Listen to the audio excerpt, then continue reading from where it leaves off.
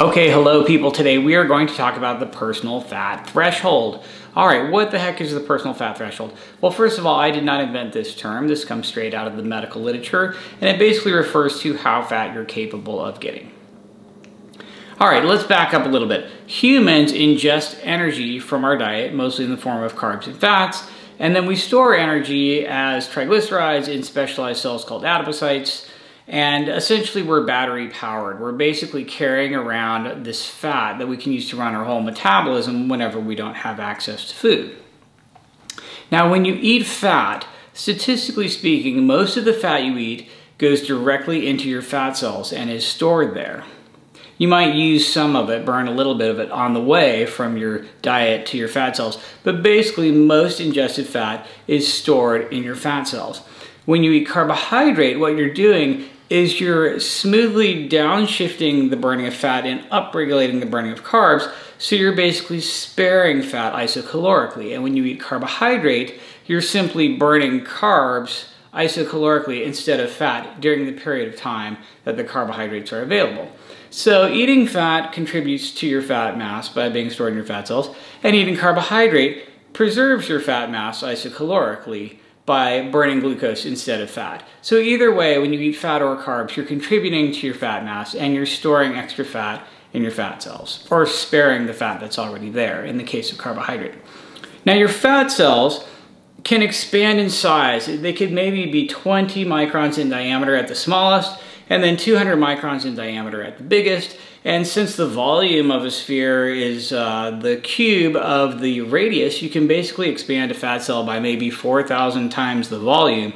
So as your fat cells are getting bigger and approaching their maximum size that they're capable of getting, you signal to your body that you need more fat cells and you undergo adipocyte hyperplasia. That's where you sprout new baby fat cells if you can and have more fat cells.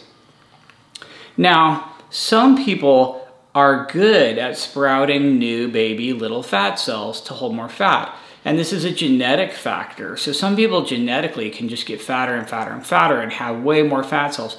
Other people are genetically limited as to how many fat cells they have. So once their fat cell approaches its maximum size, they cannot make new fat cells. They just start running out of places to put fat. So your fat is initially stored in your subcutaneous adipocytes where it's very harmless uh, and it's designed to be stored there. As you approach the maximum diameter of these fat cells, you signal the growth of new fat cells if you can genetically. But at a certain point, you're limited by your genetics and your ability to make new fat cells. And when this happens, if you've made all the new fat cells you can and your fat cells are all approaching maximum size, now you have to start storing fat ectopically. That's the visceral abdominal fat that people store. And unfortunately, this is a sign that you're starting to get insulin resistant because you're running out of good places to easily store fat. And a number of things happen at this point. The fat circulates in your bloodstream longer because it doesn't really have a good place to go. And then your insulin is chronically elevated because insulin's trying to clear the bloodstream of fuels and trying to shove this either glucose or fat somewhere where it's out of the way, but you don't really have any place to put it. Uh, eventually, when you filled all your subcutaneous cells and you filled all your visceral cells, then fat starts getting stored ectopically, which means where it really doesn't belong. And so the very last thing you do with fat is shove it inside your liver and get fatty liver, and shove it inside your pancreas and have fatty organs and that kind of thing. By the time that happens, you're, you've reached your personal fat threshold, which is as fat as you can get. In other words, you've sprouted as many new baby fat cells as possible, and you filled all your fat cells up, and now you don't have a good place to put fat. And so your triglycerides are always high because that's fat energy in the bloodstream with no place to go. And now maybe your glucose is too high because all your cells are refusing any form of energy, so the glucose just circulates around. And so Hitting your personal fat threshold is when you spill over into type 2 diabetes, which is basically uncontrolled amount of fuels in your bloodstream and you have no place to put them because your fat cells are all full. usually your muscle cells are also full of glycogen at this point and you're not doing a ton of exercise to deplete them. So basically you ran out of storage either in your fat cells or in your muscle cells. And typically they both have to be full for you to have type 2 diabetes. Okay, so one of the persons who really coined the term personal fat threshold is Professor Roy Taylor in the UK, and he did some really cool experiments with MRIs. And what Professor Taylor did is do cross-sectional imaging, MRIs of people's liver and pancreas and visceral fat, and then he put them on super low fat diets, very low fat, very low calorie diets, and watched as the liver and pancreatic fat just cleared out within a few weeks.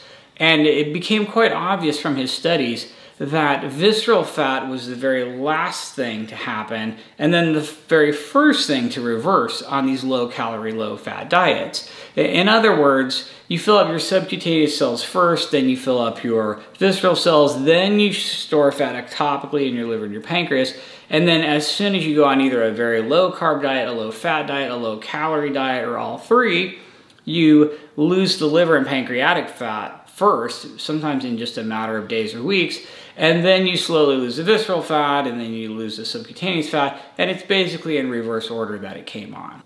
So in Professor Taylor's studies, it's important to note that he used very, very low fat diets to accomplish this sort of ectopic fat reversal. And it really doesn't seem to matter whether you use a low carb diet or a low fat diet to accomplish this. At least it doesn't matter objectively. Now, subjectively, there might be differences in terms of how hungry people are or how they feel and blood sugar and energy levels and other subjective things that are difficult to measure might be different. And I'm sure you could hear arguments from both the low carb and the low fat communities as to which one's better. But the bottom line is you can accomplish this with either low carb, low fat, or my favorite is both together, which is basically what the PE diet is. It's keeping protein and minerals and nutrients as high as possible, and then keeping both carbs and fats lower. And uh, personally, I think that sort of thing is the fastest way to reverse ectopic fat and type 2 diabetes. It's essentially a protein sparing modified fast where you're eating tons of protein, but you're restricting carbs and fats a lot, maybe even as much as possible. Okay, so personal fat threshold is highly genetic. And we see whole groups of people with really, really low personal fat thresholds. Southeast Asia, for example, if you're from India, you might have an exceptionally low personal fat threshold where you cannot sprout very many new fat cells and you're highly limited into the number of subcutaneous fat cells you have. So I see people from Southeast Asia who maybe only get 10 pounds overweight, but it's all right in the abdominal area and they're boom, immediately diabetic. We, we see these people in Southeast Asia who are literally 10 pounds over fat and they're instantly diabetic because they've literally filled up all their fat cells.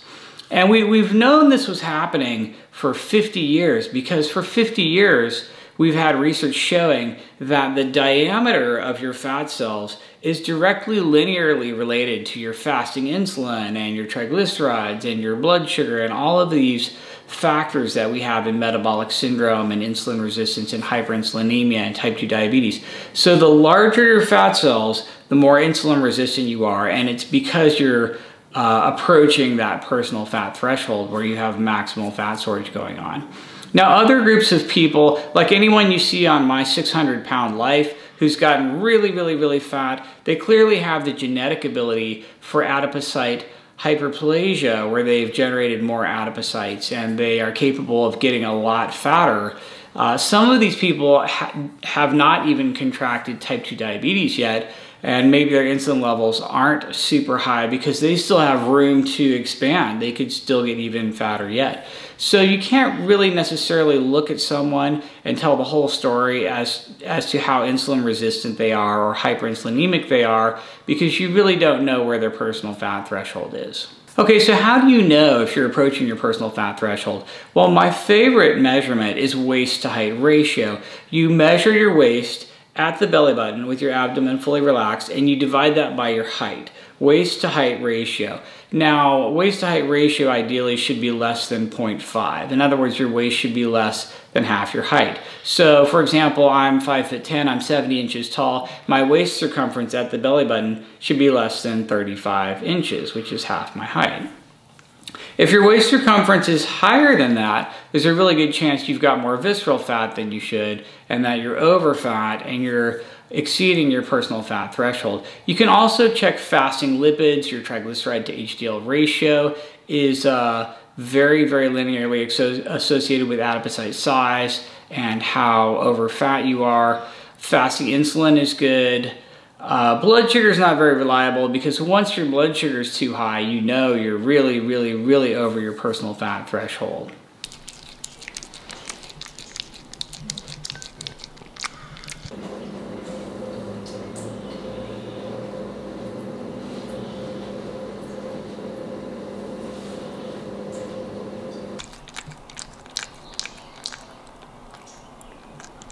And you want to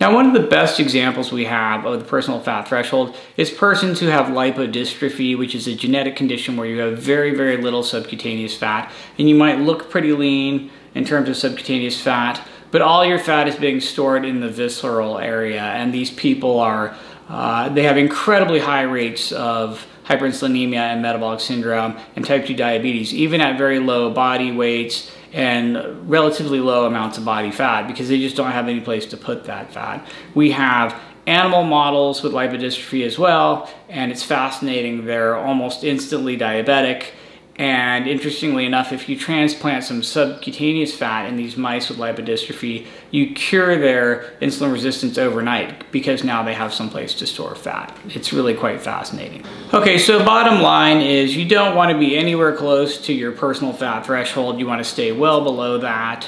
Uh, how you look in the mirror is a pretty good indicator, but then you also might want to look at a waist to height ratio, which is even better, and some basic labs like a fasting triglyceride level, triglyceride to HDL ratio, and if you're really getting fancy, you could check a fasting insulin level as well. Okay, let's say you are over your personal fat threshold as evidenced by any of these things. What are you going to do about it? Well, you really want to go on a low energy diet. That's where you try to shave down your grams of carbs every day. You shave down your grams of fat every day. Your protein percent is higher. It basically ends up looking like the PE diet. And I think that's probably the most effective way to go. Exercise is also good to burn more energy, speeds things up anytime you increase your satiety per calorie, it's beneficial and that's eating more protein, eating more fiber, uh, trying to be low carb and low fat at the same time, doing more exercise, building muscle and improving your metabolic rate. These sorts of things are all helpful. Okay, I think I talked about that long enough. If you want more information about how to reduce body fat and how to make sure that you stay well below your personal fat threshold and stay very insulin sensitive, check out the book I wrote with William Shewfelt, The PE Diet. It's available at thepediet.com and uh, I think that would be a really good strategy for anyone who's trying to stay below their personal fat threshold. All right, peace out and I will see you guys in the next one.